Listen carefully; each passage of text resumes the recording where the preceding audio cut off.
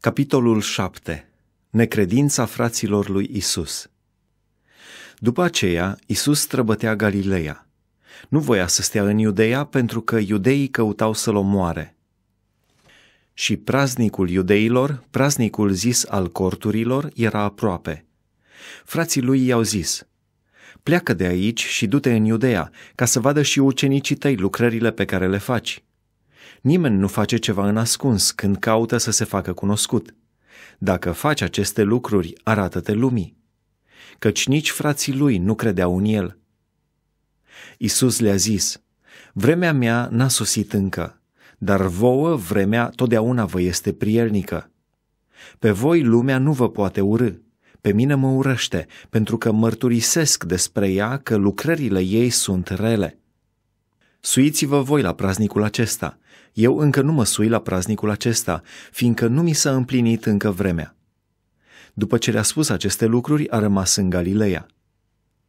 Isus în Ierusalim la praznicul corturilor. După ce s-au suit frații lui la praznic, s-a suit și el, dar nu pe față, ci cam pe ascuns. Iudeii îl căutau în timpul praznicului și ziceau, unde este? Noroadele vorbeau mult în șoaptă despre el. Unii ziceau, este un om bun. Alții ziceau, nu, ci duce norodul în rătăcire. Totuși, de frica iudeilor, nimeni nu vorbea de el pe față. Pe la jumătatea praznicului, Isus s-a suit la templu și învăța norodul. Iudeii se mirau și ziceau, Cum are omul acesta învățătură, căci n-a învățat niciodată? Isus le-a răspuns, Învățătura mea nu este a mea, ci a celui ce m-a trimis pe mine. Dacă vrea cineva să facă voia lui, va ajunge să cunoască dacă învățătura este de la Dumnezeu sau dacă eu vorbesc de la mine. Cine vorbește de la sine, caută slava lui însuși. Dar cine caută slava celui ce l-a trimis, acela este adevărat și în el nu este strâmbătate. Oare nu v-a dat Moise legea? Totuși, nimeni din voi nu ține legea. De ce căutați să mă omorâți? Norodul i-a răspuns, Ai drac, cine caută să te omoare? Drept răspuns, Isus le-a zis, O lucrare am făcut și toți vă mirați de ea. Moise v-a dat porunca privitoare la tăierea împrejur, nu că ea vine de la Moise, ci de la patriarhi, și voi tăiați împrejur pe om în ziua sabatului. Dacă un om primește tăierea împrejur în ziua sabatului ca să nu se calce legea lui Moise, de ce turbați de mânie împotriva mea, pentru că am însănătoșat un om întreg în ziua sabatului? Nu judecați după înfățișare, ci judecați după dreptate. Niște locuitori din Ierusalim ziceau, nu este el acela pe care caută ei să-l omoare? Și totuși, iată că vorbește pe față și ei nu-i zic nimic. Nu cumva, în adevăr, cei mai mari vor fi cunoscut că El este Hristosul? Dar noi știm de unde este omul acesta, însă când va veni Hristosul, nimeni nu va ști de unde este. Și Isus, pe când învăța pe norod în templu, striga, Mă cunoașteți și mă știți de unde sunt. Eu n-am venit de la mine însumi, ci cel ce m-a trimis este adevărat și voi nu-l cunoașteți. Eu îl cunosc, căci vin de la el și el m-a trimis. Ei căutau deci să-l prindă și nimeni n-a pus mâna pe el, căci încă nu-i sosise ceasul. Mulți din norod au crezut în el și ziceau, când va veni Hristosul, va face mai multe semne decât a făcut omul acesta? Fariseii au auzit pe norod spunând în șoaptă aceste lucruri despre el. Atunci preoții cei mai de seamă și fariseii au trimis niște aprozi să-l prindă. Isus a zis, Mai sunt cu voi puțină vreme și apoi mă duc la cel ce m-a trimis. Voi mă veți căuta și nu mă veți găsi, și unde voi fi eu, voi nu puteți veni.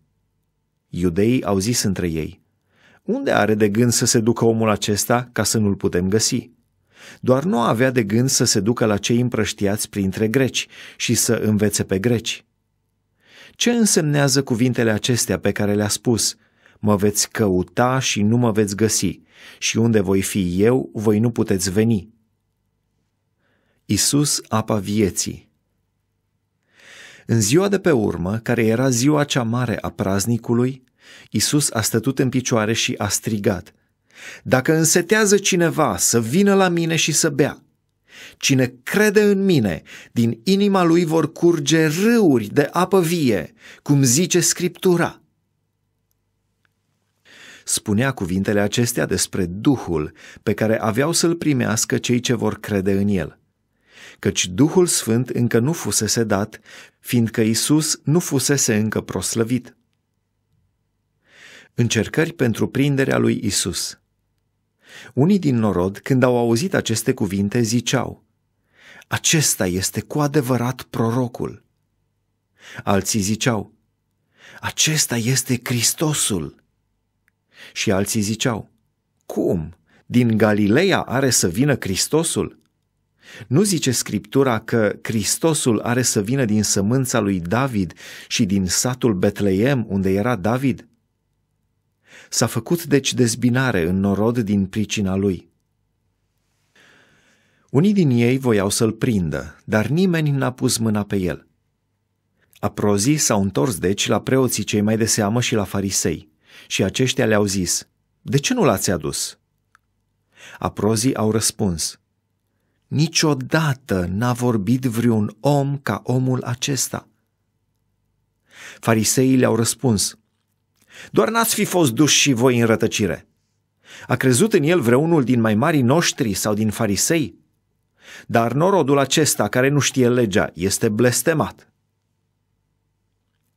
Nicodim, cel care venise la Isus noaptea și care era unul din ei, le-a zis, Legea noastră o sândește ea pe un om înainte ca să-l asculte și să știe ce face?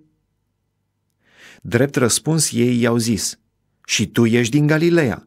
Cercetează bine și vei vedea că din Galileea nu s-a ridicat niciun proroc. Și s-a întors fiecare acasă.